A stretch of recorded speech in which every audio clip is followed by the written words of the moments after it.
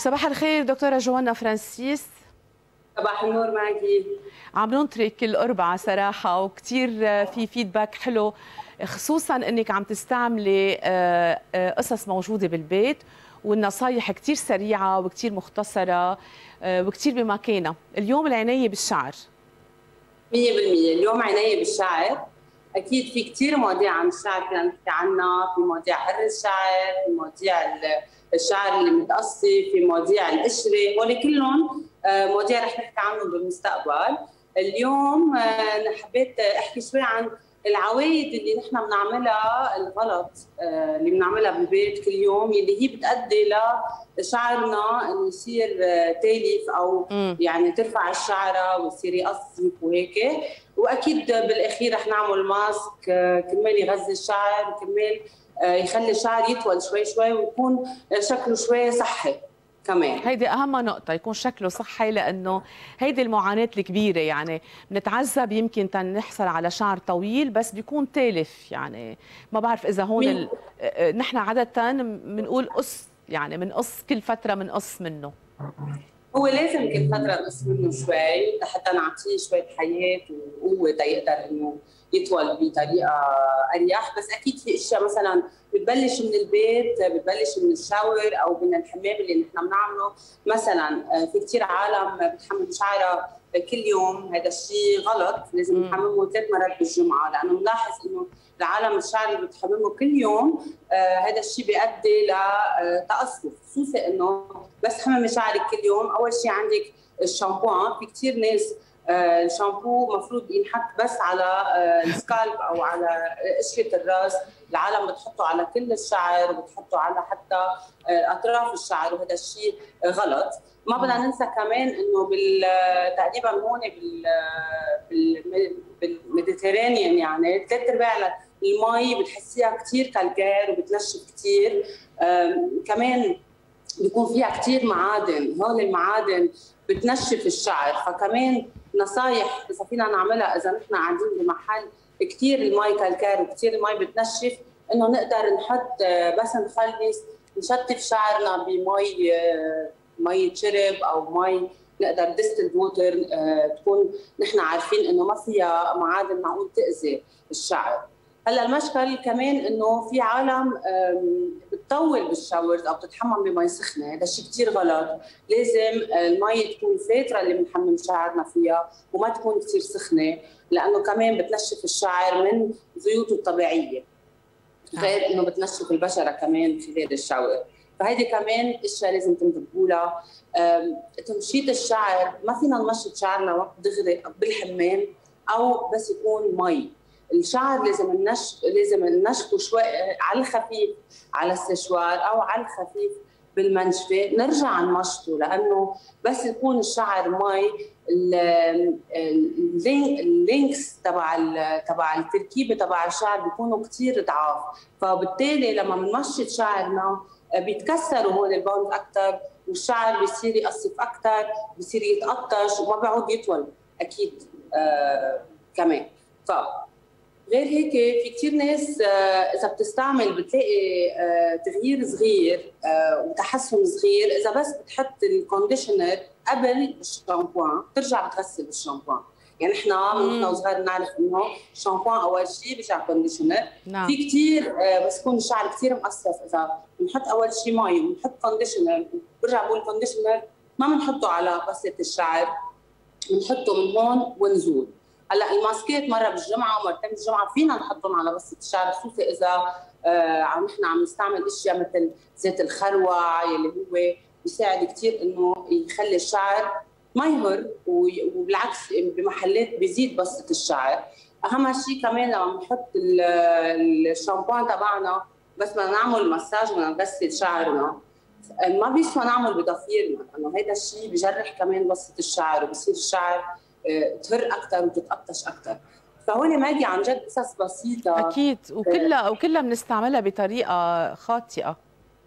كلنا بنستعملها بطريقة خاطئة. وحتى العالم اللي بتعمل سشوار بتعمل سشوار بيكون شعرها كله مي بعده. بيكون كله مي بتعمل سشوار على حرارة عالية. انه أكيد الشعر بده يقصف إذا بدنا نعمل هيك.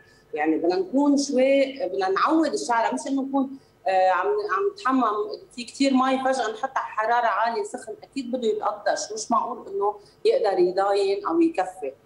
أكيد في كثير أشياء بتخلي إنه الشعر يكون آه، متقصف اللي هي أشياء من جوا يعني أشياء مثل الغدة تبع الشخص. إذا الغدة كانت كسولة عند الشخص اللي هي موجودة هون آه، بتخلي كمان انه الشعر تبعنا يصير يقصف يصير ما يطول آه، أيام يمكن بنحس حالنا عم نمسح. كمان قلة الحديد إذا ناقص كمان بصير شعري يهر كمان بصير شعري يقصف سو كمان بدنا ننتبه بس نكون عم نعالج أو بدنا نوصل لمحل معين. إذا شعرنا طويل بدنا إياه يطول بدنا إياه يطول ويكون قوي بدنا ننتبه على كل هول التفاصيل. كرمال ما نوصل ل آه في كثير أكيد بنات بيعانوا مثل هيدي الصورة اللي هلأ موجودة. آه الشعر بضل آه يعني كيف ما هيدا بضل مشربك وفايت ببعضه. فمثل ما قلت بدنا نكون شوي شوي وناعمين وبس ما نمشط شعرنا ما بنمشطه دغري من الراس ونزول لا بنعمل نمسك هون الأطراف بنمشطهم لحاله وهون بنمشط لحاله. وعلى فكرة العالم اللي شعرها كثير بزيت بس نشطه على طول من فوق لتحت بصير يزيت أسرع. لأنه كل الزيوت اللي موجودة على البصله أنتم عم تنزلوها كلها على اخر على آخر الشعر. فاذا مثل ما قلنا هول إشياء كثير بسيطة فيكم تعملوها بالبيت. إذا حسيتوا مع هيدا كله آه بعدكم عم بي عم بينط عم بيقطش شعركم وبعده عم بي عم بيقصف. مش غلط إنه تعملوا فحص دم وتشوفوا إذا ناقصكم أنواع فيتامين أو إذا هرموناتكم آه يعني بحاجة ل booster آه أكيد بدكم تراجعوا طبيبكم بهيك الحالة. هلأ بدي أعمل آه كلنا يعني في كثير ناس بالبيت بتعمل بتسأل عن bain d'huile لأنه هلأ ما بقى يعني فترة الفك فترة العالم اللي عم بيروحوا فيها عند الكوافير كثير عم تكون ساعة lockdown ساعه ما في lockdown فالاهتمام بالشعر صار أساسي بالبيت.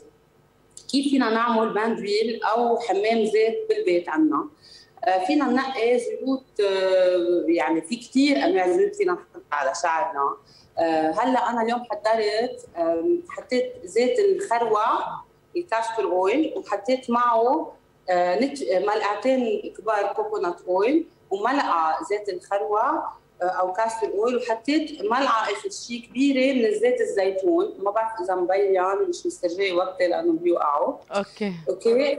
فإذا هي الفكرة إنه بنشيل الزيت وبنحطه على فينا نحطه على الأطراف لأنه نحن هلأ عم نشتغل على آه تنعيم وعلى آه تفادي التقصيف والتقطيش تبع الشعر. وفينا نحطه على الراس من فوق. أهم شيء حتى إذا بدكم تشتروا شامبوان لتقصيف الشعر إذا بدكم تشتروا شامبوان لهر الشعر.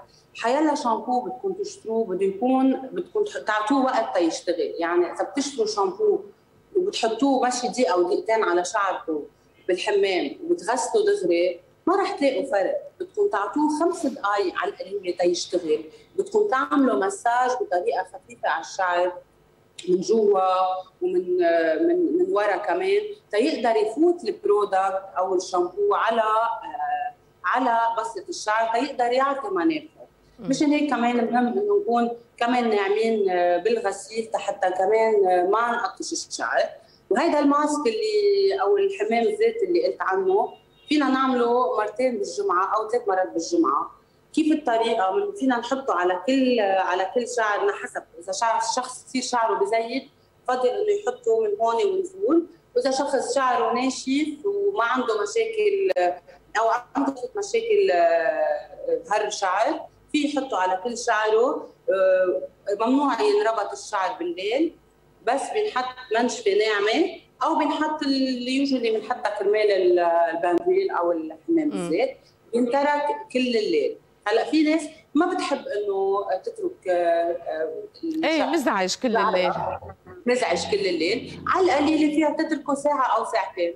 okay. هذا الشيء بيكون بيخلي الشعر إنه عن جد وأكيد لازم نرجع نحممه بنحممه مثل ما قلت بطريقة خفيفة ما بنقوي وما بنستعمل مي سخنة. على طول مي فاترة يؤثروا ال showers مش إنه زوم وزومين وثلاثة. هلا يمكن بعد ال bain d'huile أو حمام الزيت يمكن نضطر إنه آه نعمل زوم زيادة لأنه الزيت أيام صعبة إنه يروح من أول آه من أول زوم. نعم. كثير حلو ف... الموضوع. هيدا بس سؤال هيك أخير.